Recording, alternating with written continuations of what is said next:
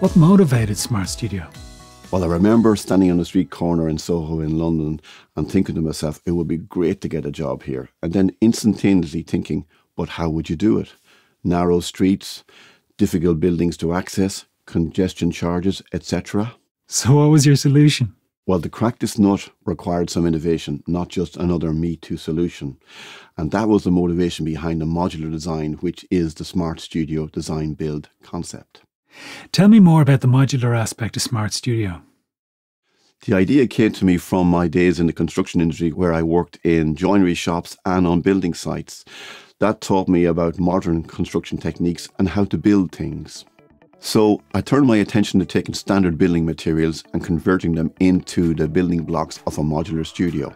Coupled with my experience in Wimbledon studios, I had a clear vision of what the professional audio industry required, and that was my starting point when it came around to developing the smart studio system.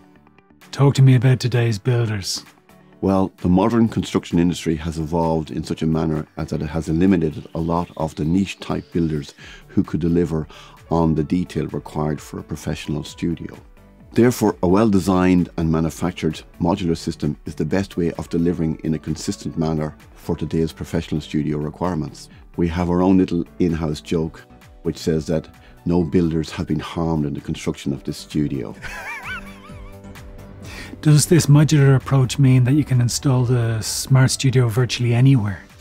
Yes, that was a critical aspect of the Smart Studio design. Years ago, you would be working in a dedicated building which was built for your recording studio. Nowadays, you may be allocated a space on the 10th floor of a commercial building, or you could be in a basement of a building that's hard to access, or you could be in somebody's home.